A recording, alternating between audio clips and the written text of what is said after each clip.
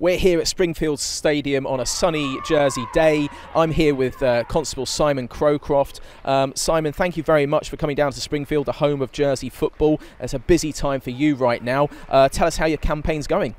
Yeah, I think it's going well. I'm trying to tell people what I've been doing for the last 20 years and what I'd like to do if I'm re elected next week. Fantastic. So, you know, we are here at Springfield Stadium, the home of uh, Jersey football since 1905. Um, tell us why you think it's important that Springfield remains the home of uh, football here in St Helier.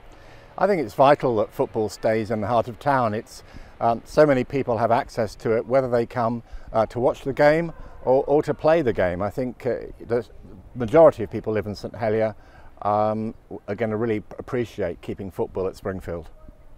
Thank you. And one thing we'd love to see happen at Springfield Stadium over the course of the next few years is a, is a couple of things. When this, this bouncy pitch that we're stood on at the moment needs uh, replacing, uh, look at getting a, a, quality surface which would attract uh, more professional teams and more, more visitors to the islands. Uh, and in addition to that, you know, uh, as a Jersey Bulls perspective, you know, we, we don't have secondary income on match day, so we, we're looking to get a clubhouse which would not only benefit the Bulls, but it would uh, benefit the Jersey Football Association, such as hospitality days on the Muratti. Um, is that something that, you know, the investment for the site that you would be willing to, to support and back?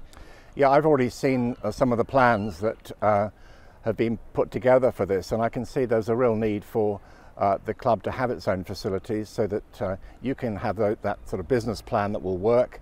Uh, and, you, and you can also provide for the large numbers of people who are going to be coming here and needing those extra outlets for, for food and beverage.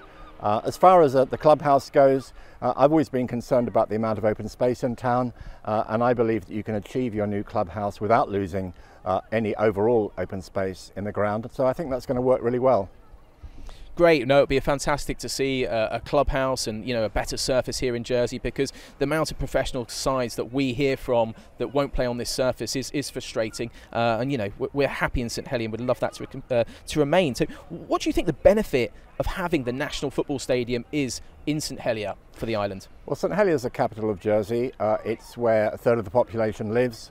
Um, it's where a lot of our tourists come. Uh, and I think this part of St Helier will really benefit from the influx of um, the spectators coming on match days. Everyone, be everyone benefits, all the surrounding businesses, the hotels, the pubs, the cafes, the restaurants.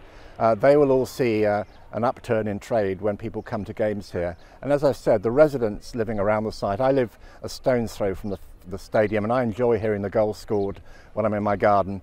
Uh, I know when someone scored for Jersey because I hear an enormous roar from the stadium.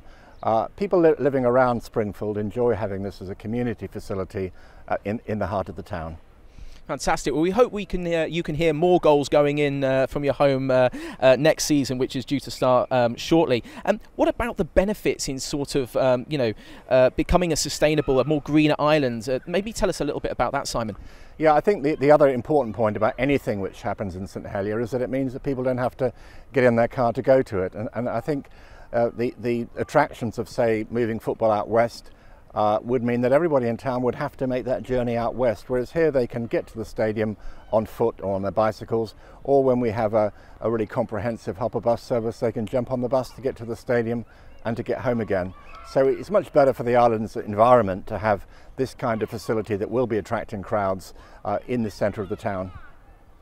Fantastic. Well, there you've heard it from uh, uh, Constable Simon Crowcroft about the sustainability, the environmental benefits of having a football stadium here in Jersey. We hope, um, you know, uh, politically we can get all the support post uh, the 22nd of June. And Simon, we look forward to uh, welcome you to Springfield Stadium on the 2nd of July for our first game of pre-season. I look forward to it. Thank you.